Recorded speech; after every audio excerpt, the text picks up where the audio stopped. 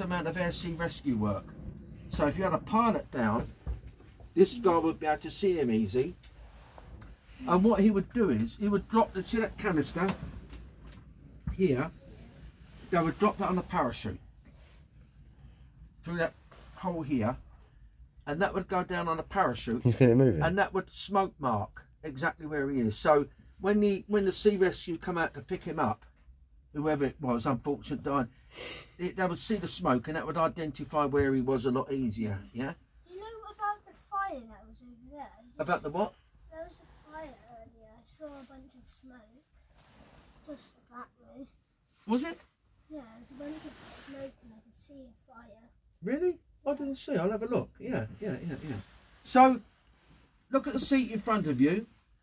This one? Yeah, and that's the front gunner sits there. Okay, and each side of him he's got a 20 millimeter cannon. Oh yeah. and each round, each gun has 300 rounds of ammunition in it.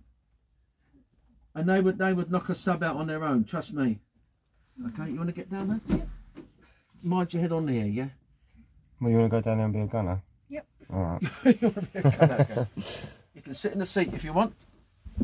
But it's tight fit. Everything's a tight fit on this aircraft. There's no, there's not much. I don't think they really thought about space, did they? Really? Mind your head though, funny, yeah, on here.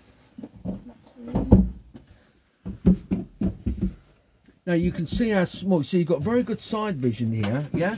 Yeah. Look how close that propeller is to look to you, yeah? Yeah, it'd be scary if it broke off. you wouldn't want that. Now, the windows here are small, aren't they? Yeah? Yeah. Can't really see much in front of you. Yeah, and the reason is, is that one of the reasons was, is that because this flew at quite low at a thousand feet over the sea, what do you, it's all right, that's, that's just the lever coming down. Gonna Don't say. worry. That's, I'll be ejected. no, there's no ejection on I was this going to say, Um, you were subject to bird strikes. So it wasn't beyond the possibility that a- a seagull would join you in the cockpit. So these guys had helmets like that. What this chap's got on here, yeah?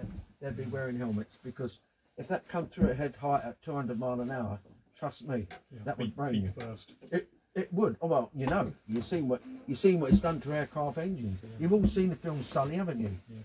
Yes. Sorry. Have you seen the film? No, you haven't seen it yet. Haven't you seen it? It's the one where he lands on the Hudson River. You should watch Oh, it. so one about Hudson. Yeah. He had watch two, it. two, two. but He, he flew into a oh, Canadian